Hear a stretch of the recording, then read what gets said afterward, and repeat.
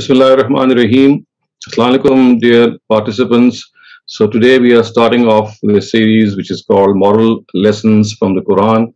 Basically, uh, every in every session I will be selecting a couple of verses from the Quran, and uh, these verses, these selected verses, uh, would actually relate to some moral or ethical message which the Quran keeps giving uh, its believers and uh, as we have been discussing this in our various sessions, that as far as morality is concerned, it is not that the Quran is uh, for the first time pointing out certain moral issues or certain moral teachings, because these moral teachings are ingrained in us. So what the Quran actually does is that it uh, reminds us of those moral teachings which we have, uh, which we already have in our uh, innate guidance. So I'll start off with today's uh, selected passage. It is from uh, the uh, 25th surah of the Quran, which is Surah Furqan. I'm just going to share the screen with you so that you can see its text as well. And uh, you'll realize that how uh, how subtly the Quran at times conveys its meaning and how forcefully this meaning is actually uh, implanted in our own minds and souls. So you can see the words of the Quran. This is Surah Furqan, the 25th Surah, and you have verses 63 to 67 being displayed before you. The words are وَإِبَادُ الرَّحْمَنِ الَّذِينَ يَمْشُونَ عَلَى الْأَرْضِ هَوْنًا وَإِذَا خَاطَبَهُمُ الْجَاهِلُونَ قَالُوا سَلَامًا And the servants of the most merciful are ones who walk humbly on earth, and when people overcome with emotions argue with them, they go away by saying salam to them. So this is uh, something which the Quran has emphasized at a number of instances, at a number of places, that the first impression that you get of a person is the way he or she walks. And the gait that you can see of a person is the foremost reflection of his or her inner self. And the Quran here says that the servants of the most merciful, which it calls Ibadur Rahman, they are ones who walk on this earth in a very humble way. They are ones who never, I mean, out of their own personal and their own persona, they never reflect arrogance or haughtiness or any element of pride. Uh, they they reflect humility. They reflect that they are servants of the Almighty who have been created by Him. And if they have any quality, if they have any attributes, if they have anything to be proud of, it's basically God given. So in all these uh, issues, they actually attribute whatever they have to the person of God, and uh, they don't claim any credit for their own selves. And this actually speaks of their humility. So the verse says, وَعِبَادُ الرَّحْمَنِ الَّذِينَ يَمْشُونَ عَلَى الْأَرْضِ هَوْنًا They are the ones who walk very humbly on earth. They don't walk stamping their feet or in a manner that the other person or people who view them think that, well, here's a person who is walking in a way that he or she thinks that, well, uh, there's no one, uh, no one superior to him or her. And the other thing which the verse actually points out is it says that uh, now in the Arab in the Arabic language, the word jahil uh, is also used for someone who is overcome with emotions, who is in an emotional frenzy. So it's not just ignorance that the word jahil means, which is generally its meaning in the Urdu language, but in Arabic it has two meanings. One of them is a person who is of course ignorant and the other one who is who's overcome by frenzy uh, or in a state of uh, emotional frenzy. And it is here uh, in this in these verses that it is used in this uh, meaning as well. So the words is that instead of entangling with people uh, who are overcome with emotions instead instead of uh, i mean arguing with them what they do is they just back away. Because there is no use arguing with people there's no use entangling ourselves with people who would like to engage in a heated discussion. And this requires a lot of humility. And this is an, actually a manifestation of humility because you see, it's very difficult to control our ego when someone is talking to us in a very ill mannered way, in a very impetuous way. So, what we feel is that we would like to immediately reply to that person, and not only reply to that person, we would like to actually tick him off or uh, pay back in equal coins. But you look what the Quran says. It says, well, the best way for people to counter such arrogance and such uh, unseemly behavior is to just back away and not just back away, the Quran says that qalu salama. They politely they, they should just wish peace because salam alaikum is the biggest prayer of peace that a believer can offer to any other person. So not only do they withdraw in any amount of, I mean, they don't withdraw in any amount of scorn or disdain or hate. They actually withdraw by praying for that person. Like, look, my brother or my sister, it's not becoming for you to use these words, and it would be equally bad if I reply to you in these words. So I'm going to withdraw and not going to withdraw in any state of emotional anger. I'm going to pray for you. And the biggest prayer that you can imagine is Assalamu alaikum, which would see, which would actually convey our own uh, well wish and the fact that we would uh, like that person to calm down and see what he or she is uttering. And the best antidote uh, my dear participants, I'm sure you would agree, whenever there is an argument, whether it's between two strangers or whether it's between people who are well known to each other, is that one of them, especially the one who is perhaps bearing the brunt of that conversation and who's not angry, uh, should just back away, should just withdraw from that scene and let the other person think that he or she has not done the right thing by becoming angry because things are never solved through an emotional uh, outburst. They are always solved in a calm way, in a way that you are able to convey your own emotions. So it takes a lot of courage. It takes a lot of wisdom to be silent on such occasions, to withdraw from such occasions, and to wish peace uh, to the person who is annoyed. But then this is what the Almighty says that Ibadur Rahman or my servants or the servants of the most merciful, such is their quality, such is their trait that they don't react. They don't uh, respond to the person who is in such an angry uh, frame of mind that he or she does not even know what he or he or she is talking about. So this is the first thing which uh, which the Quran points out regarding the most merciful servants. وَعِبَادُ الرَّحْمَنِ الَّذِينَ يَمْشُونَ عَلَى الْأَرْضِ هَوْنًا وَإِذَا خَاطَبَهُمُ الْجَاهِلُونَ قَالُوا سَلَامًا And then the Quran continues with its uh, uh, with its uh, sermonizing, as I would say, in this particular verse. And the words it then says is وَالَّذِينَ يَبِيتُونَ لِرَبِّهِمْ سُجَّدًا وَقِيَامًا they are ones who spend the nights while prostrating and, stand, and standing before their Lord. So, وَالَّذِينَ يَبِيتُونَ لِرَبِّهِمْ سُجَّدًا وَقِيَامًا Of course, is something which is an outstanding expression of the same humility that the verses previous to this verse actually they began with. It was said that there are people who are humble, they walk humbly on earth. And one expression of this humility is that they wake up at night and they wake up at night and they spend their nights in prostration in prostration and in standing in the prayer before the Almighty. And my dear participants, in this blessed month of Ramadan, it does become easy for us to wake up before Fajr when we are, all of us are generally awake at the Sehri time when we are eating our meals. So just before finishing off our Sehri or even starting our Sehri, uh, a, a very recommended practice here would be to offer the night prayer, the tahajjud prayer, which in fact the Quran says that this is how they spend their nights generally. I mean, not just in Ramadan, but generally the servants of the most merciful, they spend their nights while prostrating and standing in the presence of God in the prayer. And what makes them stand and prostrate at night? Of course, this is uh, this is a question that Quran has given an answer to elsewhere and says that uh, they are ones who stand in fear and in gratitude. Fear that they are ones who might do something which might uh, displease the Almighty, and gratitude uh, because of the fact there are so many favors which the Almighty has blessed them with, which they can simply not even account for. And when they stand up at night, they thank Him profusely. They thank Him with all their mind, with all their soul, and with all their heart that God, you have been looking after us in such a profound way, in such a tremendous way. We could not even even be Im imagine the extent of mercy, the extent of compassion, the blessings that we all uh, witness all around us every day. We see the earth, we see the mountains, we see the sky, the breeze, the wind, uh, all the elements of nature serving us.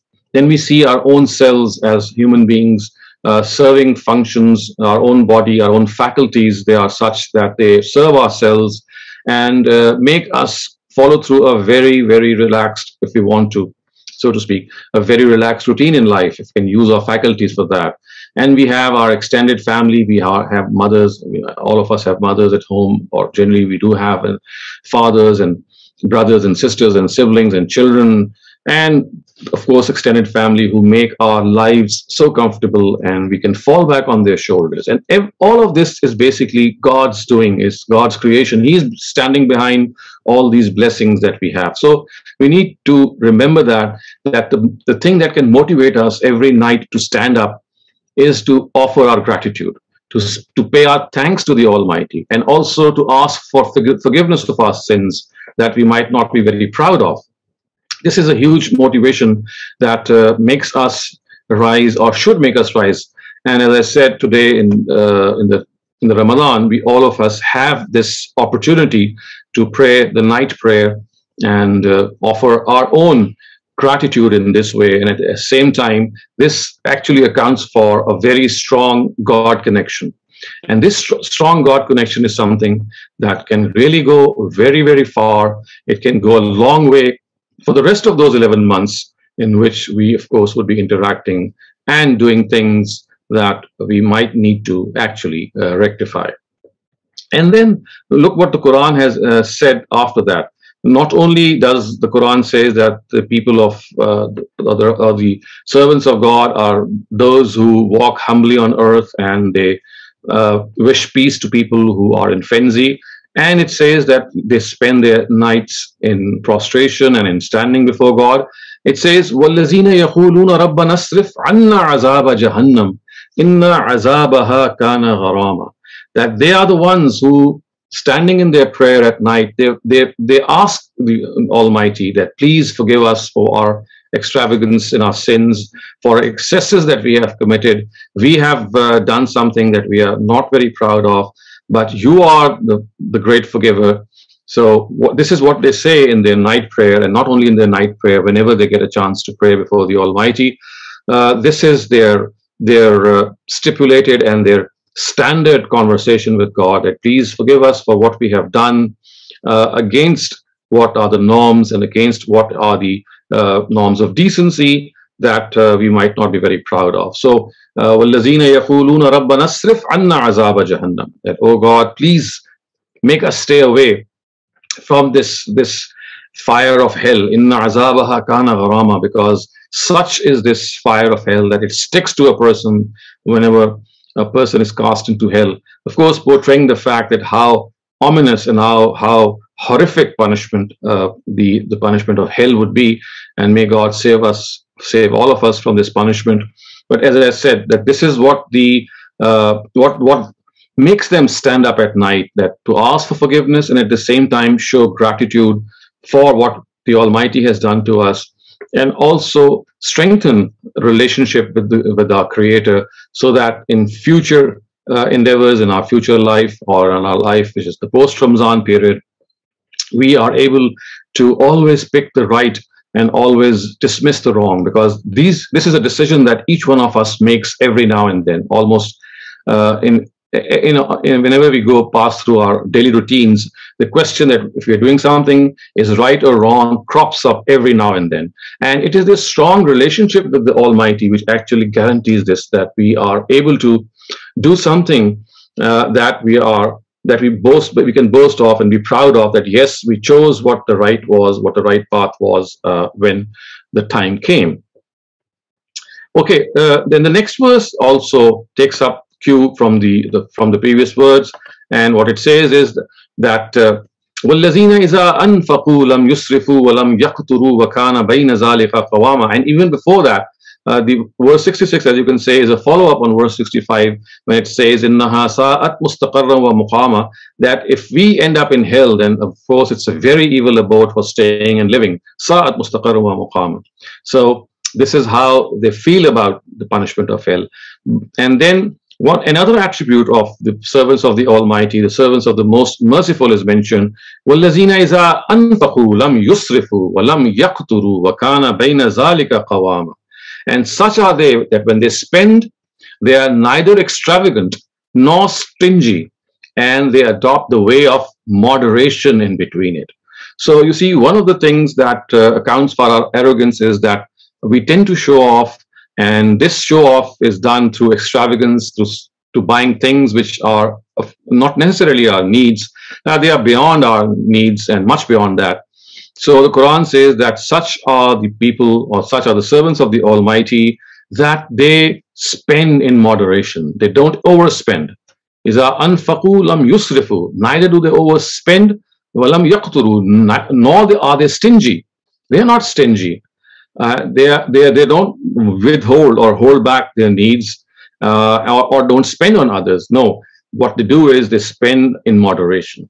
And moderation is something I, I'm sure all of you would agree is is the name of is, is the need of the hour that we should not commit excesses. We should think whatever our needs are. We should carefully evaluate our needs.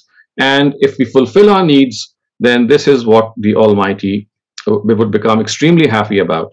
But if we go far beyond our needs, way beyond our needs, start showing indulgence in life and uh, spending in extravagance, because what happens is that when one becomes extravagant, uh, the greatest toll that it takes is that we forget the needs of the people around us because extravagance does not let us think about others. We are always thinking about spending on our own selves and our own needs. So it's a great hindrance in, in, in expressing our, uh, our compassion and our kindness towards others. It's, it virtually is like a curtain which falls before our eyes and we are just not able to look beyond our own needs.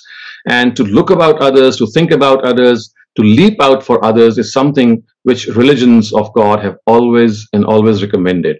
So the, these verses finish, finish off by this beautiful advice that when we spend, we should spend out of moderation.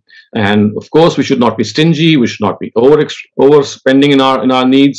Uh, and this is the reason that if we underspend or we are, we are stingy, then actually we have not thanked God enough for the favors and the bounties that He has bestowed on us. Because if He has given us, then the reason for that bestowal is that we spend that amount on others as well. Of course, spending on our own selves is not a, is, is certainly not prohibited, but withholding this uh, the amount that we have from others is something which all of us need to be very careful about, very very uh, concerned about. That whatever we have, which is over and beyond our needs, whether they are of, of the present or of the future, whether they are personal or they are business needs, whatever is spare is something that we should be very, very careful and always think about how the wealth that we have saved up can be of benefit to others. So this is uh, the passage that I wanted to bring to your notice, these verses from Surah Furqan. And uh, it would be good if you could memorize these verses because they, these are the verses that motivate us they really uh, make us think that, well, this is what life is actually about. That we have to be humble, we have to connect ourselves to God and know better a month than the month of Ramadan. And at the same time, uh, always think that we are blessed if God has given us resources and wealth, and we must share our resources and wealth with the people around us. So I would end my talk here and uh, would be available for any questions that you might have. Assalamu alaikum. Thank you, Dr. Shehzad, for an enlightening session from Surah Furqan with some pertinent practice advice. I'll just go through some housekeeping rules first. Uh, please note the following housekeeping rules. Maximum duration is just 30 minutes. And the first round, only one question per participant will be addressed. And, and if time allows, we'll be going for other sessions as well. Um, so for, I have just one raised hand right now. Halima Ali, you can go ahead. Assalamualaikum, sir. I have a question regarding that as a female member, we are supposed to be act in a bit rude way or inhospitable towards the opposite gender. So while doing this, sometimes uh, we give a gesture of uh, uh, attitude or being egoistic. So is this right? Thank you. In, in the first place, why should you be rude to uh, people who are unrelated? Why, why at all? I, I think if you uh, derive this from a certain Quranic verse uh, that has a very specific context. Otherwise, uh, they must be very, very uh, careful. I mean, very polite when they talk to people. And uh, I, I, don't see any reason that you should be rude or uh, show an attitude when someone talks to you, especially of the opposite gender. Yes, Dania, go ahead. Halima, I'll take your question after Dania. Uh, Assalamu alaikum, sir. Am I audible to you? Yes, you are. Uh, thank you. Uh, I'm a little bit confused about the uh, cultural norm that we have here in Pakistan uh, and some of the religious practices. If we talk Mhm. about showing courtesy or kindness towards others, but uh, in a culture where we are living, if we are so much lenient or kind towards others, then somehow people uh, just start to take us uh, for granted, or you can say um, they may show us some disrespectful attitude as well. So, how to create some certain boundaries of, of this respect? Uh, you can say of this self-respect because uh, when we uh, while living in this culture of uh, pakistan um, showing too much respect is not very much welcoming here Mhm. but i have observed Yes, this is very unfortunate. Otherwise, you see, uh, uh, as a human being, we should realize that respect is one of the greatest uh, attributes that, that a person should actually uh, show or profess before others. This respect is something which is equally important for elders, equally important to, towards strangers, equally important towards our colleagues, uh, our uh, friends. I mean, every person in the society uh, who comes in contact with us. This is very important. For unfortunate that when women show this respect or this politeness towards others, uh, others think that they can take advantage of this politeness, and they think that perhaps that lady is uh, wanting something in return. So I think this is uh, this is really an issue in uh, in certain societies, uh, certain third world countries, and yes, uh, I would say that in many cultures, because Pakistan itself is a is a multicultural place, and in, in some of the cultures within Pakistan, this is construed as as I mean as showing as becoming more uh, closer or, or a means to become more close or showing more frankness towards the opposite gender. So in such case, of course, because cultural norms have to be taken into care as well, I think there a, a polite way of uh, I mean going through in which you are not showing the other person any uh, anything which is uh, beyond uh, the norms of decency. If you do so, uh, this nothing wrong. And if the other person, uh, as a result, takes any undue advantage or says something which is mean, uh, again, you have to politely say that uh, this is something that you would never condone and you would like uh, to disengage with that person. So I think uh, it, you have to be polite, and if that politeness is answered by by a flirtatious attitude, if I might, if I might say, uh, then you have to just politely disengage from that person. And again, when you disengage, uh, uh, rudeness should not be shown. Politely, just just withdraw from that person and give that person a very strong signal that yes, you have respect for humanity, but you have no respect for for for for mannerisms uh, which are against decency. So I think yes, it's it's it's a big issue. It's something that women do face, but this should not be a cause for them to become disrespectful or rude. It is it should be it should make them even more polite. And when they think that the other person is taking advantage of them, again that politeness should be the answer, but be very firm and at the same time use polite words. Teacher? Yes, Assalamu alaikum. Uh, so my question is that uh, we are asked to lower our gaze uh, while we are talking to the opposite gender. But if we are hearing out a friend or a colleague, and if we don't look towards them while we are talking, so it seems as if we are not hearing them, or maybe we are not paying attention. So Right. what are we supposed to do at such times? Uh, well, actually, uh, this is a wrong interpretation of the verse which says that you have to lower your gaze. It actually does not mean that you have to lower your gaze. The words are yaghuzzu min absarihim, which means that you just you should be uh, staring at the opposite gender with decency. Uh, your gaze and your sight should not take undue liberty. It should not be a stare. It should not start examining the body parts of the opposite gender. Otherwise, lowering its gaze is, is not uh, not a, a proper translation, I would say. It's a literal translation. The proper translation would be to restrain your gaze. Then men and women should restrain uh, their gazes from taking undue liberty. So here, what we are being told is that you should not stare at the opposite gender, especially uh, making them uncomfortable in a way when you start examining their body contours. But when you're talking to someone by looking at them, you should look at them the way you look at your brother or maybe your your father uh, or your son. uh, because in that gaze you have modesty present. So what the Quran is actually telling us is we should not be immodest in our gaze. Neither women should be immodestly staring at the opposite gender, nor men should be doing that. So I would say that we have to revisit this translation, which is uh, which which actually causes a lot of confusion, and it's also not the purport of the Quran as well, and also it's absolutely impractical as well.